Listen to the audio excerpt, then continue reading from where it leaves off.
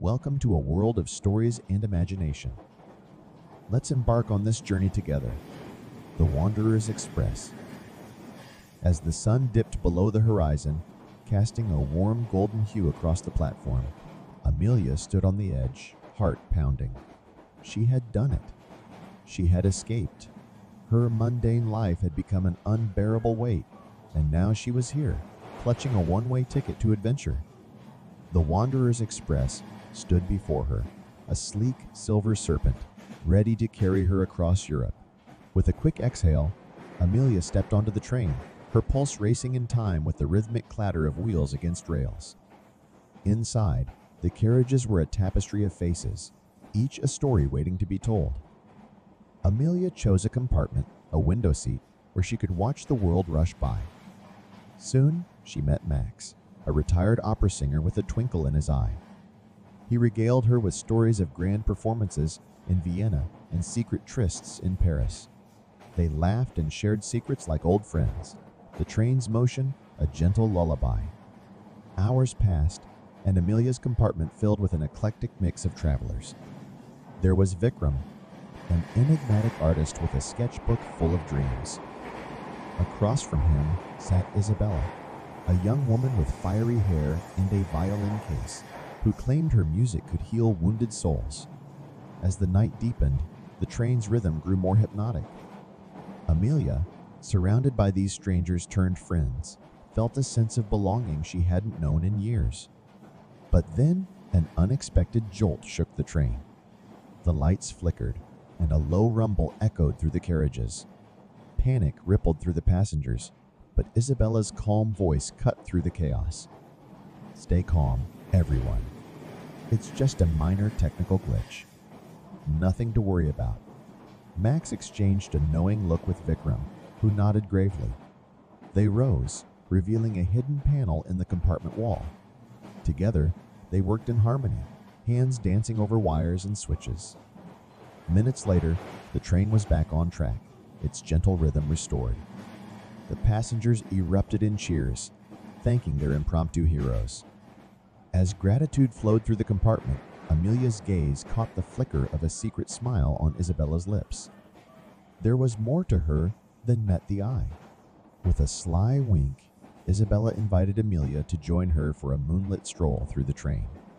They passed through carriages filled with intriguing characters, each one a chapter in this unfolding story. In the final carriage, they discovered a hidden lounge where a clandestine gathering of artists, musicians, and dreamers danced to an ethereal melody. Vikram, it seemed, was the conductor of this secret symphony. Amelia's heart swelled with gratitude for this serendipitous adventure. She had traded her mundane life for a ticket to a world of mystery and magic. As the first light of dawn painted the horizon, the train slowed, and Amelia knew their journey was coming to an end. They had arrived in a quaint village nestled in the Swiss Alps. With a mixture of reluctance and exhilaration, Amelia bid farewell to her newfound friends. They promised to meet again on the Wanderers Express, where new adventures awaited. Stepping onto the platform, Amelia felt the crisp mountain air kiss her cheeks. She didn't know where she was going, but for the first time in a long while, that didn't matter. As the train pulled away, disappearing into the horizon, Amelia looked ahead with a heart full of hope and a spirit untamed. The world was vast, and she was ready to explore it, one journey at a time. Amelia's journey continued, weaving through landscapes that changed like the pages of a novel. Fields of sunflowers in France, ancient castles perched on German hillsides, and Italian vineyards stretching towards the horizon. In a bustling station in Vienna, she encountered a mischievous feline named Mozart who seemed to have a fondness for train travel. The charming tabby quickly became her companion, curling up on her lap as they watched the Austrian countryside roll by. One evening, as the train wound through the Austrian Alps, a knock echoed through Amelia's compartment. It was Isabella, her eyes gleaming with mischief. Care for a moonlit adventure? She asked, her violin case slung over her shoulder. Without hesitation, Amelia joined her. They slipped through the narrow corridors, their laughter carrying through the train. They discovered hidden passages and secret rooms, each one a treasure trove of stories waiting to be unearthed. In a dimly lit chamber, they stumbled upon a group of card playing aficionados, led by a mysterious gentleman named Sergei. He was a master of illusions, weaving stories with every shuffle and deal. Care to try your luck? He invited, his eyes twinkling with the promise of magic. Amelia hesitated for a moment, then took a seat at the table. The cards danced between her fingers, and for a brief moment, time seemed to stand still. As the final hand was revealed, she realized sometimes luck favored the brave.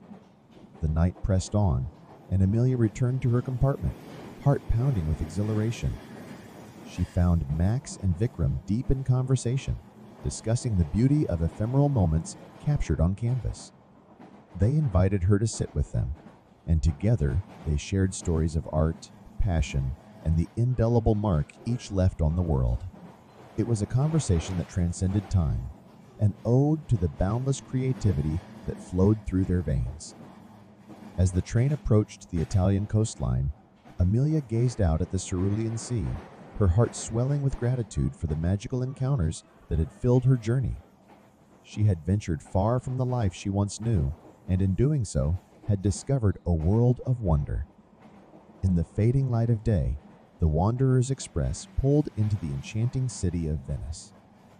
Its canals and narrow alleyways beckoned like a siren's call. With a final farewell to Max, Vikram, and Isabella, Amelia stepped onto the platform, Mozart by her side. Venice held a promise of new beginnings, of winding streets and hidden corners yet to be explored. As she navigated the labyrinth of waterways and bridges, Amelia couldn't help but smile. The adventure was far from over, and every twist and turn held the potential for a new and extraordinary tale. Whispers in the rails. It was a crisp autumn morning when Emily and her eight year old son, Samuel, boarded the early morning train bound for the countryside. The train's rhythmic hum and the clickety clack of the tracks beneath them promised a day of adventure and exploration. Emily settled into her seat by the window, a warm smile on her face as she watched the passing landscape. Samuel's eyes gleamed with excitement as he pressed his face against the glass, eager to take in every passing tree, every meandering stream. As the train wound through picturesque valleys and quaint villages, mother and son chatted animatedly, their laughter filling the carriage. They were a team, partners in their quest for new experiences. But as the train pulled into a bustling station, a sudden surge of people filled the aisles. Samuel's hand slipped from Emily's grasp, and in the blink of an eye, he vanished into the crowd. Panic gripped Emily's heart. She called out his name, her voice rising in desperation, but it was swallowed by the clamor of the station.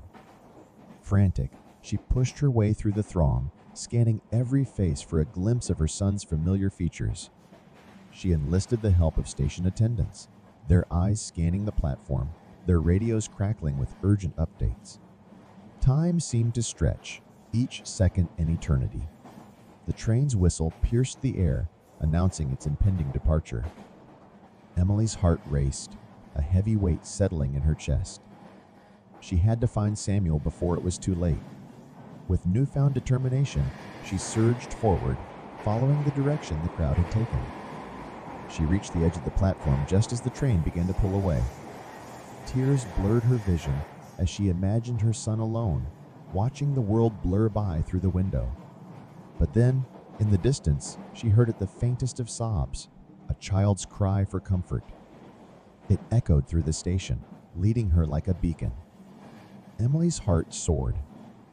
She was close. Rounding a corner, she found Samuel huddled against a pillar, tears streaming down his face. Relief flooded through her as she gathered him into her arms. Oh, my darling, you're safe, she murmured, her voice a soothing balm.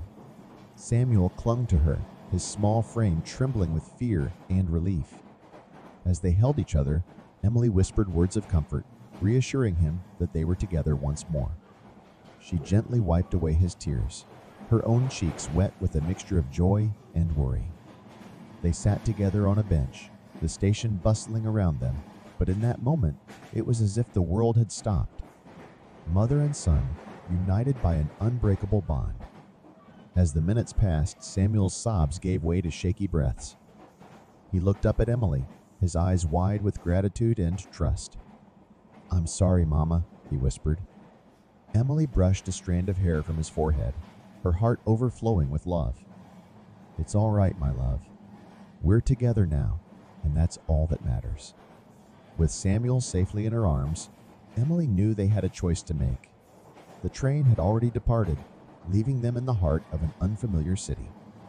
They could wait for the next one, or they could turn this unexpected detour into an adventure of its own. She looked down at Samuel, determination in her eyes. How about we explore this city, just you and me? Who knows what wonders we might discover? A tentative smile tugged at Samuel's lips, his trust in his mother unshaken. Okay, Mama. Let's be adventurers. Hand in hand, they set off into the city, their steps light with the promise of new experiences. They wound through cobblestone streets, discovered hidden parks, and shared a picnic in a sun dappled square. As the day unfolded, Emily and Samuel forged memories that would forever bind them together. They laughed, they explored, and they marveled at the unexpected beauty of their detour.